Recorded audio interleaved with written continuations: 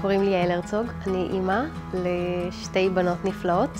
נולדתי לחיים על אה, אוניות, כשאבא שלי התחיל את הקריירה שלו בגיל אה, מאוד מאוד מאוד צעיר, ובגיל 26 הפך להיות אה, קפטן. אני זוכרת כניסות לנמלים, אני זוכרת את הים, זה משהו שעל האונייה אתה יכול לראות את כל השמיים, זה, זה מדהים.